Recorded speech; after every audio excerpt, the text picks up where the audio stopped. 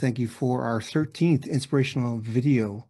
Uh, this time we're with Mel Williamson. Uh, before we start that, though, I just want to give a quick synopsis of what Artful Minds is.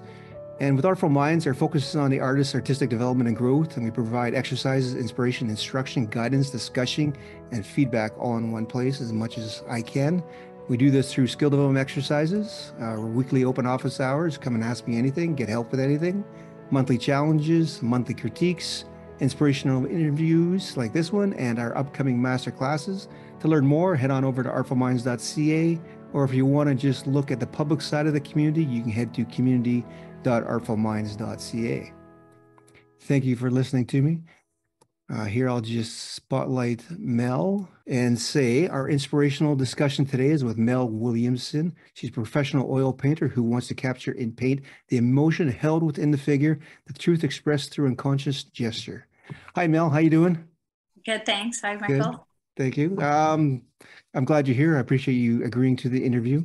Thanks for asking me. I want to just go through some of your paintings. And when I'm scrolling through your paintings, just tell us a little bit about yourself. Sure. I live on Salt Spring Island, which is pretty cool. I grew up here. Um, my background is actually in graphic design and illustration. I went to school in Capilano College in North Van, where I think you are, maybe.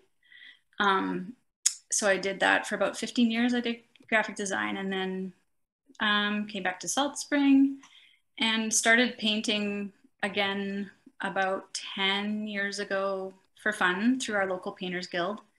Um, and then gradually shifted to painting more almost full time um, and stopped doing graphic design about five or seven years ago, maybe now. Um, once I started showing at a local gallery.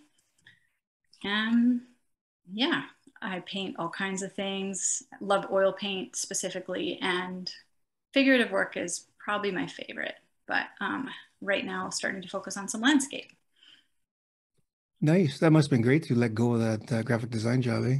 Yeah, it's it's it was really great job to have, but it's kind of great having no client now. I can relate to um, that too. So whatever I do is just whatever I want. Um, it doesn't have to get shipped away.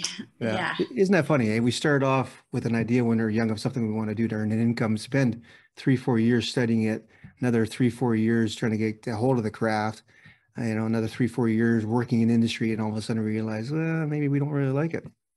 Yeah, I did. I did love it, but I think when you do anything, don't they say there's like a seven-year time period? And I think I had kind of done two sevens, and it felt like time to shift. And plus, with my you know life and family and everything, things change too. So being on Salt Spring and having um, little kids, um, yeah, it was just a good opportunity to start painting it was a little tough, but yeah, it was really when my daughter was my youngest, um, when she was in school. Then there was a bit more time, and I was yeah. really thankful for the uh, local painters guild.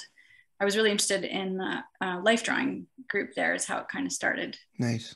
And yeah, I initially I actually used acrylic for about five minutes because I thought it was um, five minutes easier with kids, um, but it's and I was using a lot of retarder to slow it down and then I realized uh, maybe I should try oil, which I'd used in college. And um, as soon as I touched it again, I'm I'm really a big oil fanatic. Yeah, no doubt. Yeah, the acrylic yeah. got relegated for the kids later on, right?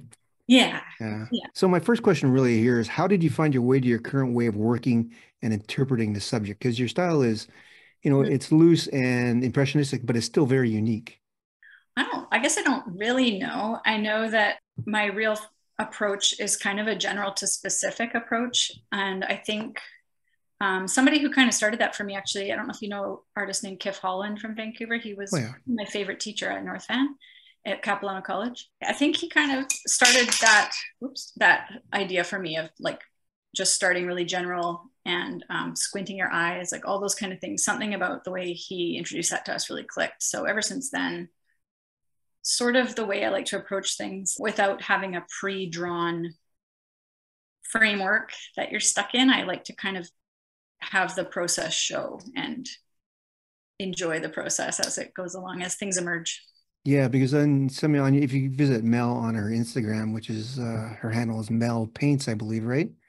Mm-hmm. Yeah, she has some videos, and you know, you don't necessarily draw anything in; you kind of just start putting in tones and it all kind of develops as you go and that's seems to be your process of painting, correct? Yeah, exactly. I, I'm really passionate about that process specifically. And it's actually been fun lately teaching that to people that are more beginners. Hmm. Um, also, people who are more experienced to have them try letting go a little by doing that. Because if you can draw first, you can also draw last or in the middle. Like you don't need to have it all spelled out first. And I think there's a really fun discovery in that. And it, it gives an energy that you kind of can't fake if you do it a different way. I don't know, there's all kinds of art, right? But that that really is the spark for me, I think, is that discovery. Yeah, and I can see for a beginner too, because all of a sudden they're caught off guard. What do you mean I don't have to draw this in so much detail that I got to worry hmm. about it? They just start throwing in tones and let things mm-hmm. emerge by carving one area in, carving another area out. Yeah, it is really interesting. And I've, you know, before I did some workshops, I even was practicing with my daughter and her class. It was fun to do some things, especially with her, I guess, where you, if you convince people to just start with the basic shapes, it does become a thing in the end. And I think what's beautiful about that is you start with the the general shapes and everything starts from bigger and goes to smaller but then you're not worried about too much about you know proportion and size and location. And i think from that that is when your style really starts to come out because i know i tend to say to do my figures elongated and i live with it because that's kind of how i do it.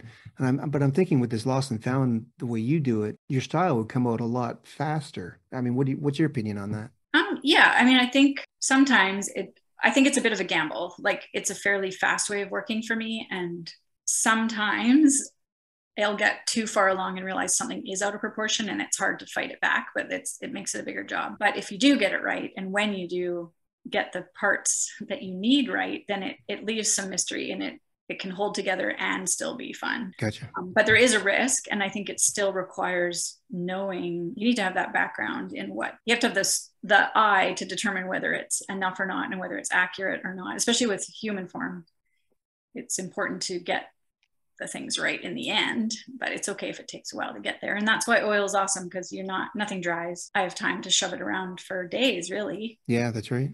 Yeah. Nice. Hmm. Then I guess this brings us to the next question. You obviously love this slippery and visceral feeling of oil paint. I think that got you that from your website specifically. So yeah. it must really help you with your lost and found style to just be able to swish and swash everything over, right? Yeah, definitely. When I've um I'll sometimes I have used acrylic a few times like for an underpainting or something if I'm working large, it's kind of convenient. But when the edges harden like that, it it does make it more challenging but I've had I've had some students in class using acrylic, and there are ways to use it thinly or use retarder like I used to that will give some of the same flexibility. But I definitely like oil for that. I've also found that I enjoy working on a fairly smooth surface. I think it emphasizes the paint strokes and shapes. It shows them even more. Yeah, for sure. Almost right? like emphasizing the parts that I I do like. about the the medium. Yeah, that's right. And for anybody who hasn't used oil before, I mean, it stays open for a long time. And but the caveat with acrylic, I find, and maybe you can back me up here, is you have to think about everything with acrylic in that time frame. So if you're throwing in a figure against the background, mm. you have to worry about the edges right there and then, and you can't come back later to fix them easily. Whereas in oil, you can just throw everything, come back 15 minutes later and, and do the edges. And I find that's the freedom. That's why oil is so relaxing for me. And if I can use that word compared to acrylic, acrylic, I'm like hyper focused and I really, I need to think of everything at the same time. Mm-hmm. Yeah, I agree. I think like I was doing life, like painting from life when I was going to those initial classes and I was using oil or sorry, I was using acrylic for portrait and it would drive me crazy because I go back to soften an edge, like say at the edge of a face or something, and I'd go back to my palette to grab that color and it was dry or else you have to remix that color again. Whereas with oil, yeah. that puddle will generally still be there. So knowing that you really love smooth surfaces, have you ever painted on Yupo? I have, yeah. Some what was it like? I love it. Um, I even I wrote to the company, actually spoke to somebody at Legion Paper about painting oil on Yupo because I was concerned archivally and stuff. Not a lot of people do it. Um, I find it helps if I use Galkyd medium, which is like a resin. So Galkyd makes it more sticky. Yeah. So that kind of helps with the adhesion to the Yupo, which is, I believe, polypropylene. I did a little bit of research on this and spoke to them. Um, they said it's totally archival because it's plastic, and then it's just a matter of the adhesion. So you can sand it lightly if you want to, or using the Galkyd helps to make it like with Yupo. Though I do keep, I have to keep to a fairly small size because the substrate is so flexible. It when it comes time for framing or mounting, Mm, that can be a bit of a challenge. true, true, because you can't really mount it to anything, can you? You sort of can. Uh, double-sided ta- archival tape has been the best way. Oh, okay, good tip. Um, yeah, my framer has found to deal with that.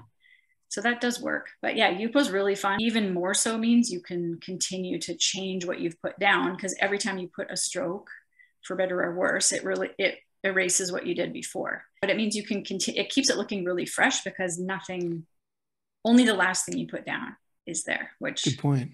is kind of cool. Yeah, I can see how that would really keep the freshness for sure because you're never hmm mixing a warm and a cool and worrying about mud, right? yeah, just whatever you put down is the last thing that stays. And another Yeah. thing I've tended to do is prime it first with a, a thinned down, kind of an ochre I usually use, but having a thin layer of that I think helps with the adhesion because you've got like kind of a base that's dry and already adhered to the Yupo, and then the next layers are going on top of that. So with that, yeah, okay, that's interesting. So you with that, so that base layer, you let dry first, or you just do it at like half If an I- hour before? Yeah, if I'm organized and remember ahead of time, then yeah. hmm for sure, right?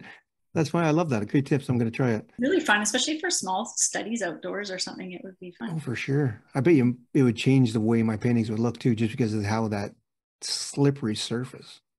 Yeah, and you do get it kind of lend it kind of gives the whole thing a bit of an activity because especially with a bristle brush, you're kind of cut almost scraping through. You get the brush marks, and it kind of it's pretty fun. I think it is. It's difficult. It's like skating, kind of. It's just like sliding everywhere. I, I love that analogy. That's pretty good. Thinking about painting though, you paint a lot from life, correct?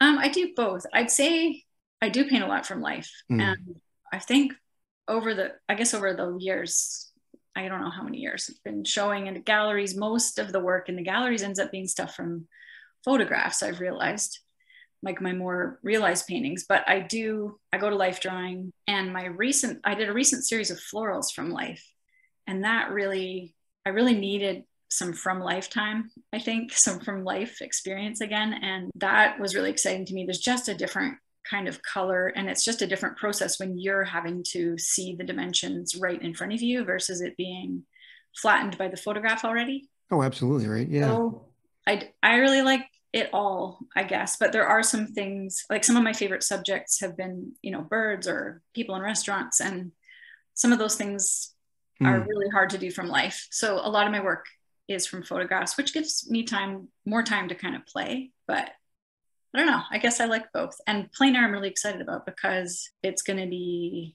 that real just real real colors with my real eyes instead of the photograph going between us So skipping back a little bit though, you said most of your works in the gallery are from photos. Now, is that because you have to work on a larger size and so that works better from your photos, or is it just a subject?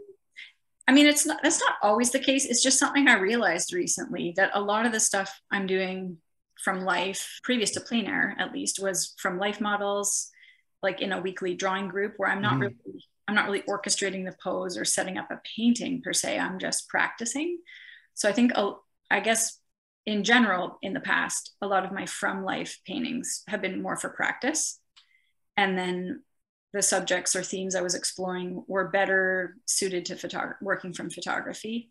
Gotcha. So it just kind of happened that way. But yeah, it's definitely difficult to do large scale paintings from life. It- most of my work in galleries though isn't that large. I did I did some recent large nudes from photographs. So I want to go back from this whole life thing and how you had to go back to doing florals. And I, I just want to show this to everybody. This is one of the images we I showed during your introduction. And so you don't need a fancy setup. You don't need this. You don't need a light box. You don't need a great environment. You don't need that. You don't need much. Let me look at this. You have a flower in a in some sort of bottle on the stairs, and that's all you need to paint it. And I think this painting is just fantastic. Thanks. Yeah, it's a gin bottle. Okay. the best gin ever called Sheringham gin. And I just had it, I like the shape of it. And I had these flowers. And yeah, that's just a, I had a ladder in my studio. So I, it kind of ended up being handy because I could adjust what height looked good and just really simple, basic lighting. That's perfect. And how long did this still life take you? I think I have a Um, close up too. Yeah. probably a few hours. Yeah, most of my work's fairly fast. But like I said, some of it doesn't turn out in the Well, end. yeah. I mean, that's just the way it is, Yeah. right? It's the nature of the beast. Sometimes you just need to know when to quit, right? Yes, exactly. Yeah. That brings me to an interesting question though. So what happens when you say set up a still life or working through a photo and something's just not working? How much do you beat yourself up about it or you just say, you know, screw it, get rid of it, start fresh, or just work on something else? Well, it depends on the day, but I think I'm pretty quick to throw in the towel and just say forget it, which I'm I mean, I'm thankful that I am a pretty fast painter. So I have I'm never gonna have I mean, I guess at worst, I'd probably have a whole day invested, and I've definitely hmm. wasted mm. whole days in the studio, and it does hurt.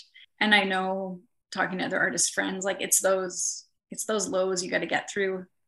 You just have to have the faith that it'll get better, and also, I think it's good to pre-expect you're going to quote waste some time, and it, it's really never time wasted, even if it didn't turn out. Sometimes I learned something, or it was fun to do, but it it's challenging for sure. Yeah, absolutely. I like that. Uh, I like that what you just said though. You have to know that you're going to pre-waste some time eventually. Yeah, it's it's perfect. Yeah. You think of it like that, then it's not really a lost cause because you learn something from it and what not to do, kind of thing, right? Mm-hmm. And yeah. I think especially with my approach is just it. Sometimes it's going to be hit and miss. Also, it's it's psychologically too. Like depends on the day. Like I could because it's oil, as I said. Like you, I could keep fighting it and fighting it and fix it. But if I'm getting too mad, it's sometimes more advantageous to just switch gears, you know, move the flower. So I've actually done this, like say those flowers, like just move them to a different side of the room with a different background or put them down low and paint them from above. Just switch gears so I feel like I'm starting fresh just to get yeah get over that tantrum basically that pretty much sums it up too that's what it feels to me at sometimes as well doesn't matter yeah. how old i get right uh-huh. Yeah. And it's it's hard. It's it's like life. You have to you just got to go through those things. And the less you panic about it during the better because it just it happens. Yeah. And wait for those magical moments when you step back and think oh my god i've just painted that. That's amazing. Yeah. It is exciting when you can yeah. do sort at least when you get you know close to what you set out to do it's it's really awesome. Absolutely. and then same like if if it goes to a gallery or even if somebody just sees it on instagram and likes it like it means so much to me when I've managed to almost do the thing I wanted to do, and when someone else connects with it, that I mean, I think that's really why we do this. It's nice if you could connect during your during your lifetime. With Absolutely right. So, out of all the things you paint, because you paint, you know, animals, bird, well, birds included, figures, still lives. Out of all of those, what do you think is your favorite to do? I think figures, whether they're people or animals, but probably people best of all. I think I like painting figurative because it I don't know. I think we we just have so much more of a connection to other living beings that there's a sense there's also a sense of motion i think when it's something that's alive and that works kind of well with my style where i think i'm hoping that it feels like something's about to move or in mo- in motion and also full of emotion in their gesture that's definitely i think those are my favorite yeah i can see yeah definitely with your style you get a lot more sense it's more visceral right than mm-hmm. something that's a little more graphic let's say right yeah and i think that the oil paint itself feels similar. Like it's kind of, I don't know, it just has like a lifelike quality where it's oily, yeah. earthy, and real versus synthetic. Like there's sort of just a difference to me between oil and acrylic for that reason. And I, I think it, it, I don't know, something about that connects for me with things that are living and breathing and moving are my favorite. But I, I like, I like everything. I don't know. so, but with you, you start off painting from life, how long did it take you to get a hold of being good at painting the figure? Oh, I don't I don't know if I'm good yet. Oh like, well. I'm better than you were, let's say. Practicing all the time. I think the best practice is going to life drawing and charcoal is something that has been really helpful for me. I think like vine charcoal, it's really affordable. It behaves a lot like oil paint and I'm able to push and pull it around. Same as oil, you never make a mistake. So the time spent doing charcoal drawings or just pencil drawings in my sketchbook, I'm trying to get back into that practice a bit more. As you probably know, it's hard to keep up with everything, but I think it's just miles of canvas or miles of paper, just yeah. time put in is really what has helped. I have studied some things like the different life drawing books and things have helped. A recent one I liked was by John DeMartin. There's lots and lots of books to study, and that does help, but nothing beats drawing from life. Drawing like as when I just came on live, Michael, you were seeing my like that self portrait I did in a mirror. Yeah. Drawing yourself in a mirror or drawing your hand or drawing your friends or Yeah. Just the more, the more yeah. you do it, the more you see what's wrong. It just, it just takes a lot of time to get a higher success rate. And I still don't get it right all the time for sure. Yeah, it's not an easy process, right? Everything's always a little bit different. Sometimes you think you have it down pat, and then you get this crazy angle, and you, yeah. your brain just won't let you do it, right? It's uh, so strange. It is, and I think I really like weird poses. I think it it helps with turning off whichever was it right brain, left brain. Oh, I can see that. Because when you when we think with the left brain, right? The analytical brain, you start thinking in nouns. Like even if I'm painting a portrait, if you start thinking, if I start thinking um, nostril or lip, you're thinking more in shapes rather than actually seeing what your eyes are seeing. Yeah. Which is the other side of your brain. And so with life drawing, I, I always really love the crazy poses because that way I, there's no way to to kind of reason your way through it. You have to just look at what's in front of you and trust in the abstract shapes that are there. And yeah. that's really fun to do. Yeah. And I think that's really important. You really just have to go in there and trust the abstract shapes without a doubt. Mm-hmm. Yeah your experiences with plein air because I think you're the first artist I've interviewed that doesn't really paint plein air that much. Um, yeah. But I know you recently took up plein air painting. We had a conversation about it before. Uh, how's it going for you? Good. It's tough. It's tough, but it's really fun. The benefits are huge in terms of the light. It's just so exciting. Similar to how I felt when I I had been doing. I guess I'd been doing a lot of work from photographs, and when I did those that flower series, I was just so inspired by the real colors and the real light. And it, I'm feeling like that about the plein air as well. So I had, I had first done plein air painting. I mean, I've always done a tiny bit of everything, but I took a course. I went to a workshop in 2018 with Jeremy Mann and Menorca Pulsar, a school in Spain, and I actually got a partial scholarship to go, and it was super exciting. And he, I think it was one of his first there was a special thing he did where it was a boot camp, and it really was. Um, so during that experience, he had us paint very quick little thumbnails, like nine on a sheet. He said, like, you've got half an hour to go. Like, you oh, need wow, to damn. paint this sunset right now. And I want to see like two sheets of nine, just go. And he said, just do three, like three swishes of color, like sky, whatever you see, just three abstract shapes, but try to nail the color Gotcha. I love those little thumbnails. They're just so emotional and accurate, even though the shapes aren't perfect. That really inspired me about plein air the first time. He was just really interesting and really driven guy. So yeah, that was that was really inspiring. And I'm trying to take that forward and do slightly bigger thumbnails even, but my work my work is pretty small anyhow. So I'm I'm keeping it small for now and I'm really excited about the energy and the accuracy you can get if you work quick and small from real life outdoors. That's what I'm enjoying about plein air. I'm trying to get my gear together. I'm, I we had a bit of a chat about that, and I'm really excited. I'm expecting my new easel to come soon. Oh, nice, nice. Which which one did you decide on? I think I got the little one, the fly on the wall. Oh, nice. One through Prolific Painter. That yeah, um, I think you really like that one. Yeah, you haven't. You did you say you have a different one? Uh, yeah, I use the Hugo Pochade, but the Day Tripper is on my list to buy, and I have a friend who has the fly on the wall. She really likes it. Cool. I hope I hope it's big enough for me, but I I am I I'm interested in painting small and light, so I think it'll be good. I'm excited about that. Jeremy Mann has crazy, and I've been doing the same. He has a little cigar box setup that he made. And so I came home from that experience and made my own little cigar box, which has been great. Like I got a piece of glass cut Absolutely. Pretty cool. You can just paint right into the lid. So that's a kind of funky way to go. And that's been good, but I want to have something that's a little more easy to transport. And the wet panel carriers is another thing I'm really. This is one thing you need for sure when you're painting outside. That's for sure. Yeah, especially I want to do multiple small multiple small ones on this in the same day. So you got to have a way to carry them. And i live in mm-hmm. such a beautiful place uh, it would be great to be able to hike places and do that. So yeah i was quite impressed with the prolific painters you can tell his background is there that he knows what's good for plein air and hiking and oh absolutely. I mean he's put in the miles the hours. Yeah. Yeah so I felt really happy to support him. And a lot of the research I did, even before talking to you, was um, a lot of people were recommending that one. So I'm excited. Oh, good to hear. Yeah. You know, what, what's interesting is if you look on Instagram and you check out all the plein air painters, and you know, I'd say eight out of 10 use one of his easels. It's, it's really? kind of amazing. Yeah, it's either that or Strada. Sometimes you see a Hugo. sometimes an Alaprima, but you know, I'd say the majority are his uh, his his easels. I think I think we all have a lot of respect for someone making them who really does it himself. That's what I felt, and yeah, recommended it too. And I'm so excited. It should be coming any day now. Cool. You're gonna have to tell me your experience then.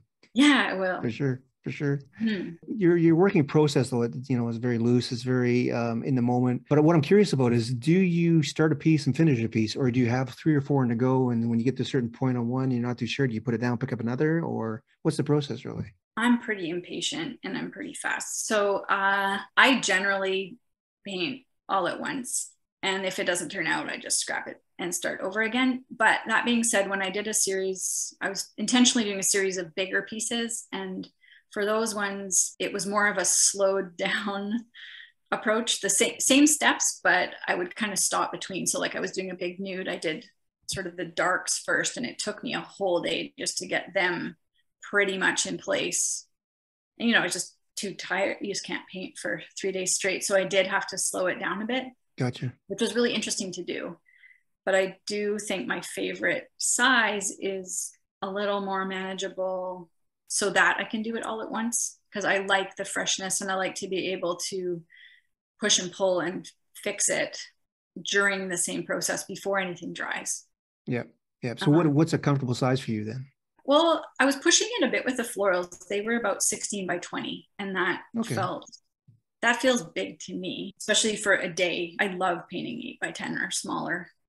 I really really love that it's kind of an all at once thing it's uh, it doesn't get the same attention like if you're in a show or a gallery because they're little but yeah. even with other people's work i look at i love those little things yeah I, I think i prefer smaller studies and paintings over sometimes the larger one that, that take yeah. days because even with myself i know the larger the piece is the less of the immediacy you see in my smaller work is in the larger pieces. I mean, it's still there but it's not to the same extent. Yeah. It just misses that and i that's what i see. I don't know if others see it or not but i i notice it a lot. So obviously you yeah. seem to have the same issue right?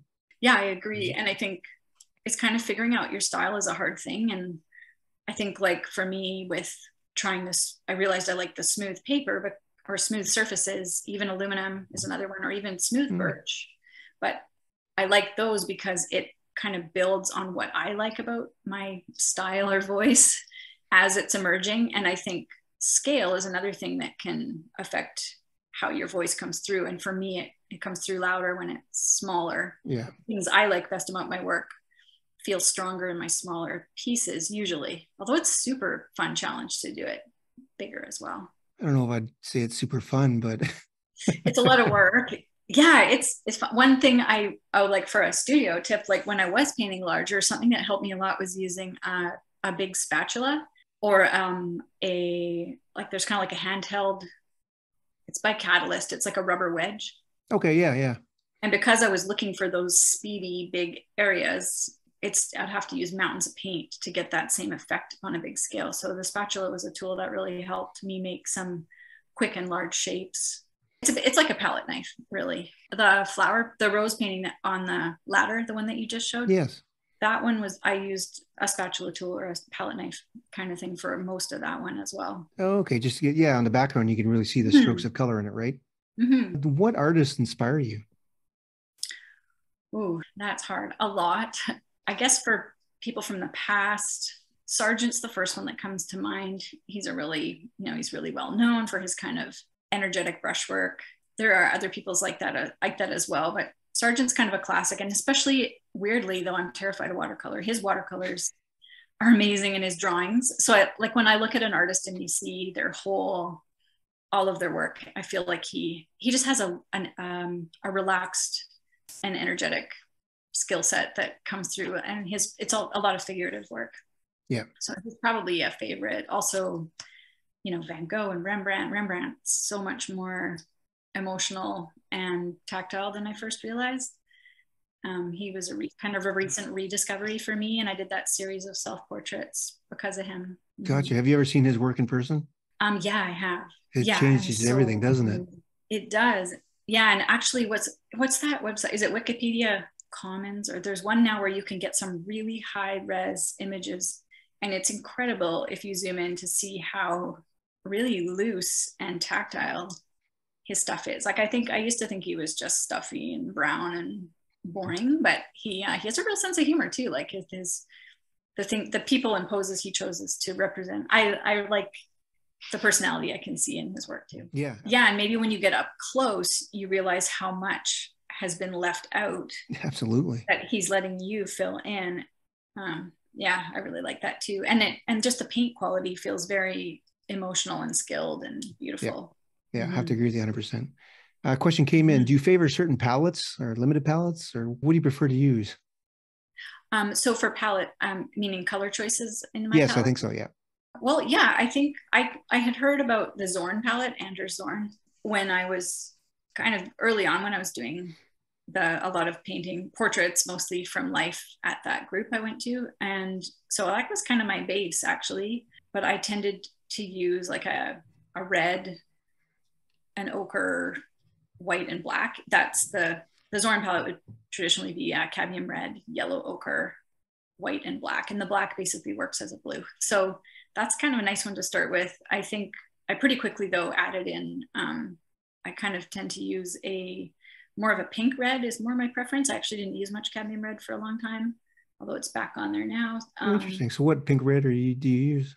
I like quinacridone red. Okay. Yeah. Kind of pinky. And then I find that in combo with having two cadmium yellows, like if I have a deep and a lemon, I therefore can get, you can kind of get a warm red quickly using the cadmium. And for a blue, I was also tending to use a very cool blue. I think I was able to get away with just a cool red, a cool blue, and then the two different yellows. Nice. Along with white and some browns. That was kind that kind of still is my typical palette, but plein air is different for that too.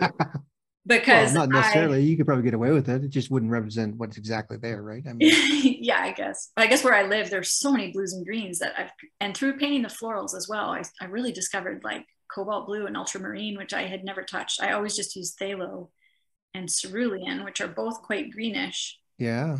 So it's been pretty fun to try out those warmer blues and just looking in our na- in nature, like for lavenders and all the greens yeah, so kind of adding on. But I did a Zorn palette's a fun way to start, or even just that cool red, cool blue, and two yellows with white. You can kind of make everything. Yeah, I agree. I agree. Um, so you're one of the artists that actually uses a lot of phthalo blue, eh? I um, I steer away away from it whenever I can, but you know, sometimes it just has to be in there. It's really, really, really strong. Yeah, it's yeah. a great black though. Yeah, it does. Yeah, yeah. I like it. Here's an interesting one that everyone always wants to know: is when do you know your painting is finished?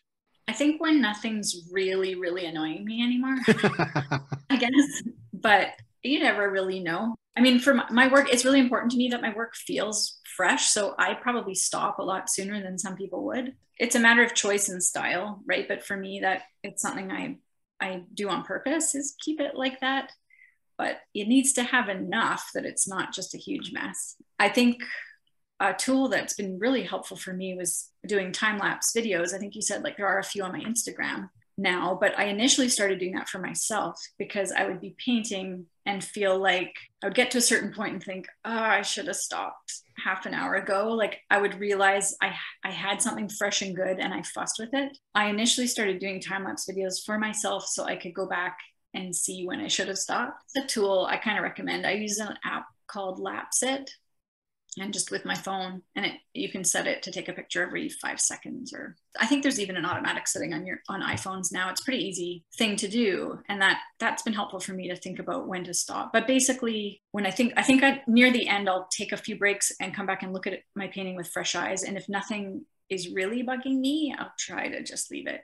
Yeah yeah so you really learn from that process mm. to stop earlier than later i guess yeah because yeah. i felt like i was i was wrecking things by overdoing what wasn't necessary oh, yeah. i still do and maybe i stopped too soon sometime i don't know i don't really know yeah i don't know i don't i don't know if there is a too soon sometimes like because mm-hmm. you have that immediacy and freshness is always better than i think the overworked and the dull yeah i, I generally agree especially for me but then i think with art it's it's crazy like there's so many different i've seen beautiful like super intricate detailed very hard edge things that I, I love as well true it's just not my particular voice for me yeah so there's no real right answer yeah Unfortunately, no. We think it is, but it's not really, is it? Yeah. Uh, do you ever paint from your imagination? No, I find that really hard to do. No, I mean, the closest I get is if I'm making some doodle for my kids or something. But yeah, I find that challenging. It's something I would like to be able to do, um, but I really don't, not for my professional work anyway. Yeah, me neither. I just can't handle it. My brain Yeah. just freezes up. A good exercise though that I have been involved in, and it was shown to me by Lalita Hamill. I think you might know her. Oh yeah, I've, She's in Langley. Yeah, she what you for plein air, what you do is you can paint a scene, and then basically when you're done painting that scene, you pull out a new canvas and you kind of turn away and you just paint it from memory. Ooh, And that way you get the you get the immediacy of your your memory that because you just saw it, but you're not relying on imagination of stuff that doesn't exist, right? And Mm. generally what it does is it shows you in the end what was essential to that scene compared to what you initially painted when you were looking at it. And it's quite an eye opener because you realize, oh yeah, like that that over there was really unimportant, but in my in the first painting I gave it too much detail. And Right. it's it was kind of a really nice exercise. That's really cool. So was the initial one you did plein air? Yeah, yeah. So the first one's plein air, so it's still immediate. It's still, you know, do your hour, hour and a half, whatever. Yeah. But then you do the imagination one. It usually takes less time because you can't remember as much detail, Yeah. and you hone in on what you thought was important, and the rest is just there for context.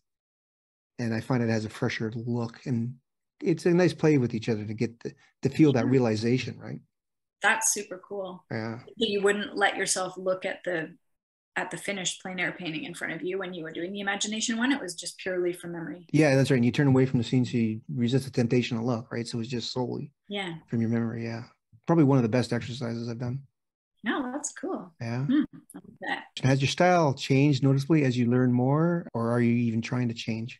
I don't know. I I'm not sure if it has or not. I don't think so. I think there's been some shifts sometimes um, in terms of the medium or substrate, but I I think my approach is just always pretty similar. Uh, there's I think there's been a few roads I've started down like where I got a little tighter at times with different uh, way of approaching things, but I think and I hope that um, my my voice is similar throughout. And it And I really think- hasn't changed from a certain point, I guess. Um, I don't know. I don't. Maybe not. I think. I think it's always been pretty loose. Like Nice. the first slide you showed, I was just thinking how that one was. That was like a long time ago that I painted that. I think that was around 2014, and so that would be an older one. I think I've started to use more paint, like thicker paint. Yeah, that looks really, um, really washy. Maybe a little Yeah. bit thicker in the white areas, but Mm-hmm. And that's on canvas. So that was thinner paint on canvas. And it was kind of that more muted palette. So maybe if anything, I'm using a bit more paint and slightly brighter colors, although I think I'm a fairly muted painter. yeah, and then a slippier surface too. Yeah. Nice. I'm- But you know, if that's from what you said, 2014, Yeah. um, I think you've pretty much stayed consistent. Yeah. I think so. I kind of can't help it. Interesting. And I guess the only thing really has changed is maybe you've added a few more colors to your palette. Yeah. Yeah. Being an artist isn't is more than just being an artist. We don't just sit in our studio all day painting pretty pictures as much as I'd really love that. Um, Mhm. there's a whole entire business side of it. How do you handle that approach? How do you like do you do you split your days in terms of the morning is painting and the afternoon is business, or how do you handle the kind of that juxtaposition? I don't really know.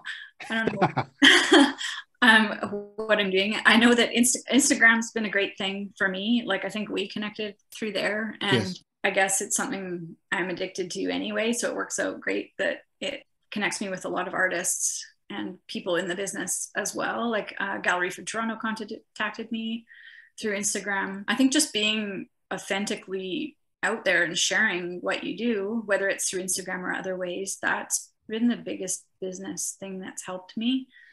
Um, I think the right people will just find you if you're doing what you're doing and they like what you're doing, then Yeah, yeah. it'll I- work out. Being open and consistent. Yeah, for sure. And being authentic, I think that's the key. Yeah, you Yeah. need to you need to have something to share and not just be chasing something for the sake of chasing something, I guess. And business wise, I mean, it's just like life. Just be, um, you know, be authentic, be a good person, do what you work hard and show up. And I don't know, things have just been gradually working well for me. And I think one thing usually leads to another, to another in an authentic way again. When, and if something doesn't feel right, then get out. Like, don't don't work with people you don't want to work with. Don't paint what you don't want to paint.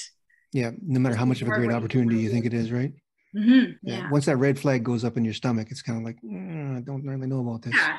And you know, we're artists, so like we don't have to live our lives that way. Hopefully, if you need, I mean, money is a whole other thing, but do something, I would say do something else for money. Yeah. And follow art the way you want to do it.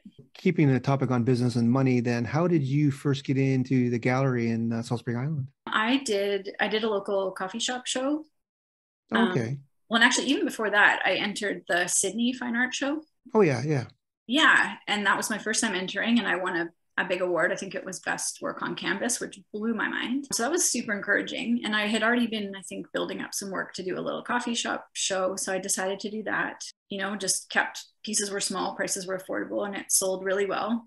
A local gallery owner who I sort of knew a little bit personally, he had seen the show and actually asked if I could meet with him because I was looking for advice just on what should I do now, like if this went well. Okay. I wanted his input as to how to approach galleries and in that chat with him, he asked if I wanted to show at his gallery, which totally blew my mind. And yeah, so his name, that was Matt Steffich, and I still show at Steffich Fine Art.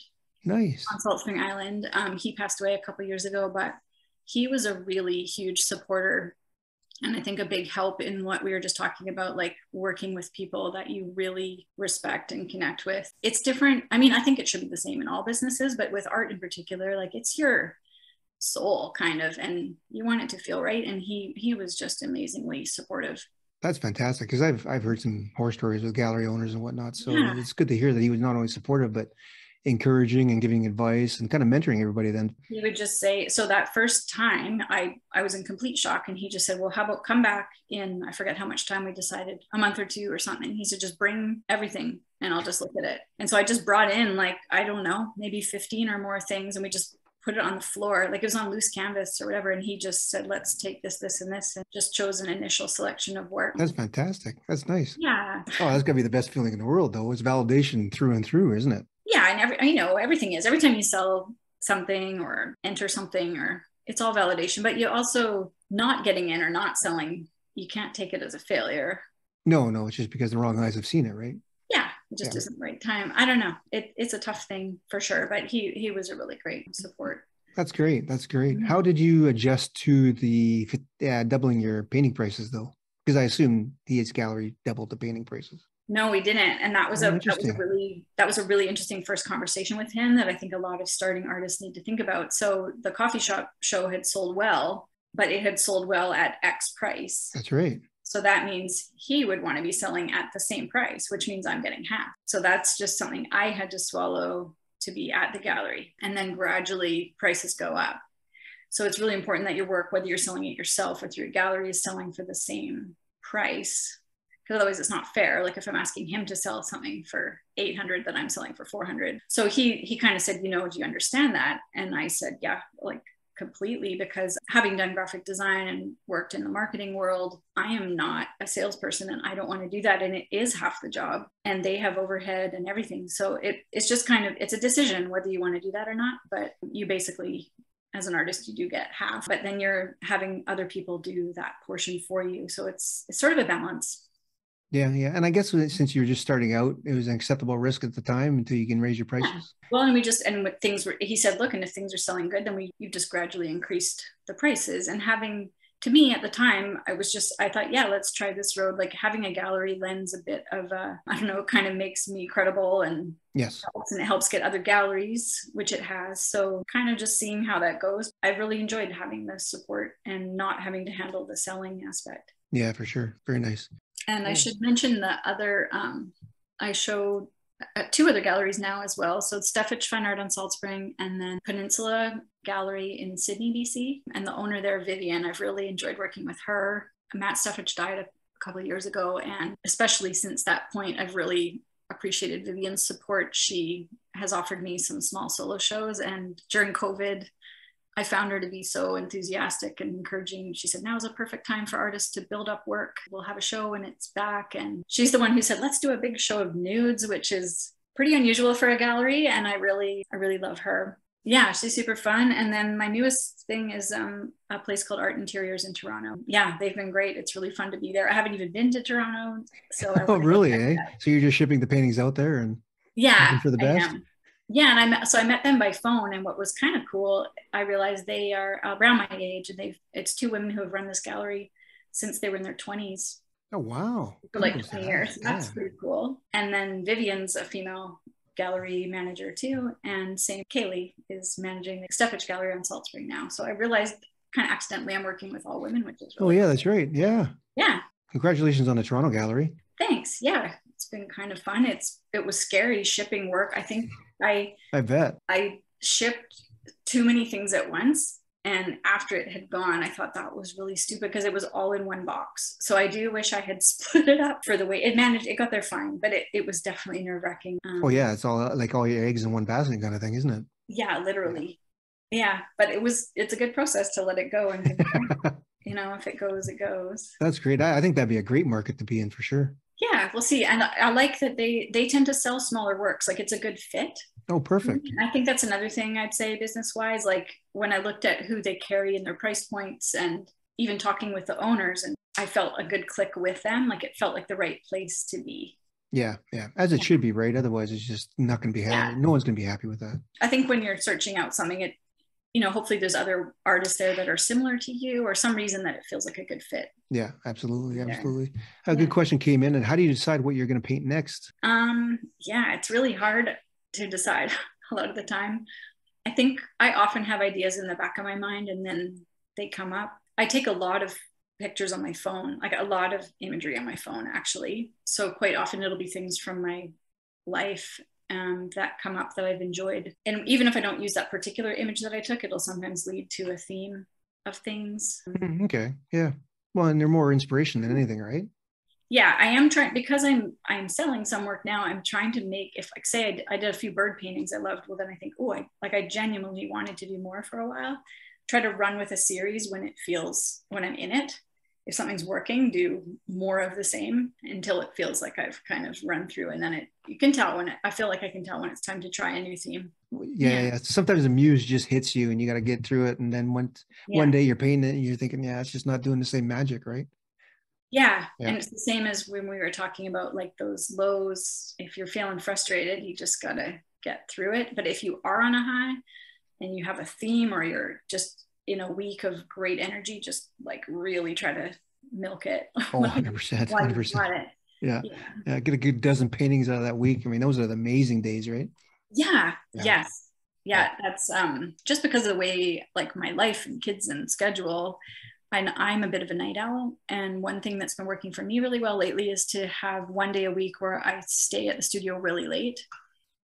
Um, so I'll do a really long day because I'm a I'm a slow starter, but once I get on a roll, I can really keep going. So I've like last week I did five paintings in a day. Once I was here, I could really just keep going. And yeah, I, for sure. That works well for me. Nice A few more questions came in. Do you take photos of people in public display places you like uh, because of the way they're posed? If so, do you change the look of the people so you're not in conflict with them about the photo?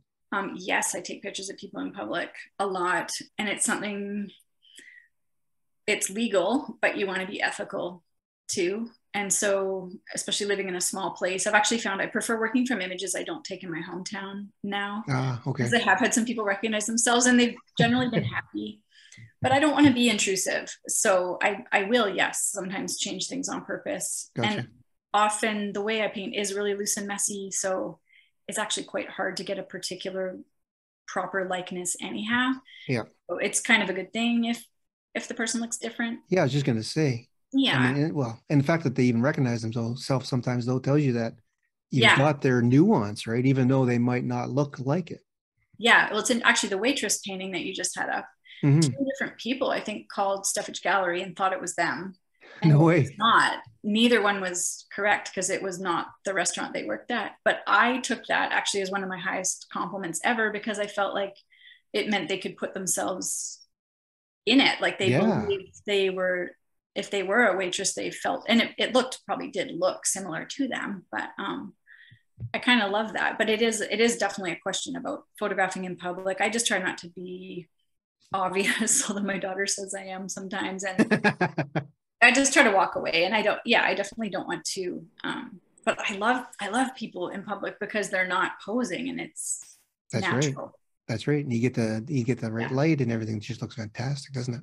One thing I've done a couple times, like with some of the barista shots I've done, I will sometimes take a quick shot or even a short video. And then I will ask after the fact. So that way I know that they are aware I'm going to take pictures, but the, the ones I take later are never as good because their posture's all weird and yeah, Yeah.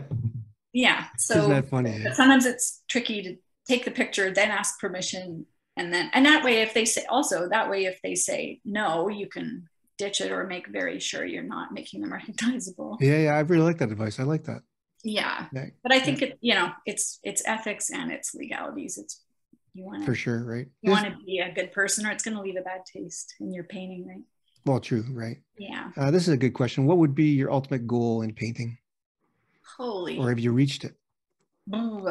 I um hmm, that's a good I don't know. I think just to connect with people. Uh, really. Like I think I feel like my purpose in a bigger sense would be to show people that life's beautiful or have people see the world in a different way. That would feel amazing. And I think when someone buys my work, I feel a little bit of that.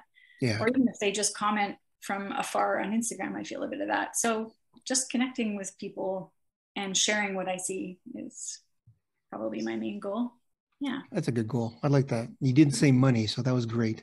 Yeah. Right. I mean, I would like enough money to be able to keep painting and Oh yeah, for sure. happy. But yeah. Yeah, we're not looking for five hundred thousand, right? We're looking for sixty grand, so we can just live a comfortable life. I won't turn it down, but No, absolutely, right? well, actually, great. I would if it was something I didn't want to do. So, oh, good on you. I don't yeah. know. I'd have a hard time. Okay, we've, we've pretty much covered the hour, but there are two more questions I want to ask you. sure. And so they're related, but the first one would be what is the best piece of advice you've ever received? Oh, I think to paint what you really want to paint. And um, that was another Matt Steffich thing because I had a summer. Uh, I guess it started with a little dead bird I found. And I started painting dead animals, basically things like somebody would give me a bird and I painted a bunch of them. And then I was just really on this roll. It was so beautiful to Nice. from life because I'd been painting, I'd paint animals from photographs, but they don't stay still. So it was Yeah. it was just a theme I was onto. And I went and talked to him about it and said, you know, I don't know about this. It's kind of crazy. I actually went to the abattoir. Like I got a pig's head. Like it was crazy. And he, he said, you have to do it. He said, you have to do it. He said, I'm not going to promise you I'll hang it or sell it, but, but he said, you must do it. And it, I thought that was really good advice. And, you know, I didn't hang or I did some, but you know, that theme passed, but it was an important thing to do. He just said, when you paint what you want to paint, it comes, it does come through in the Yeah. end. yeah, that's fantastic. I that love that piece of advice. On the flip side, what's Yeah. the best piece of advice you can give to others? Oh, probably the same thing, I guess. like paint what you want to paint and work hard and work with good people, be a good person, all the stuff I tell my kids, right? Just, um, oh yeah, good point. it's just like life. I don't know. And just enjoy it. Yeah, practice, but do what you want to do. Like it has to be, and it'll be your, your everyone. I find like, especially intermediate artists like us, like tend to start looking for their voice. That's the thing. Like I want to have a style. And I think that's a really common thing. And that can only come from practice and from doing what you really love most. Yeah, I have to agree with that. And then what's interesting is though you spend all this time wanting a style, and then somehow you get on the muse or you just start painting and you forget about it. And then at a certain point, you look back and you say, "Oh my God, I got a style. How did this Mhm. happen? Where did it come from?" And Yeah. so you just you can't create a style. I don't think you have to just you're you're created to paint a certain way, and that is what eventually will come out. yeah and Yeah. i and you may as well have a style that you love right like it, there's no point chasing another style although it's great to practice and try out things and see what works but in the end doing more of what you love will, your style will just emerge Yeah, I agree. yeah I agree 100%. Thank you so much for this Yeah, interview. I really appreciate it. Answering all my questions. I, I, I just loved your answers. If anyone's interested in uh, Mel's work, you can check her out at melpaints.com. And of Mhm. course, she's on Instagram at Mel Paints is her handle. You can Yeah. find us at artfulminds.ca. You can check out the online community at community.artfulminds.ca. And with that, I think we're going to call tonight. Thank you again so much. I really Thank appreciate you. it. It was really nice. Thanks for asking me. All right. Have a good evening. Okay, you too. All right. Thanks everybody for attending. Take care. Bye. Cheers.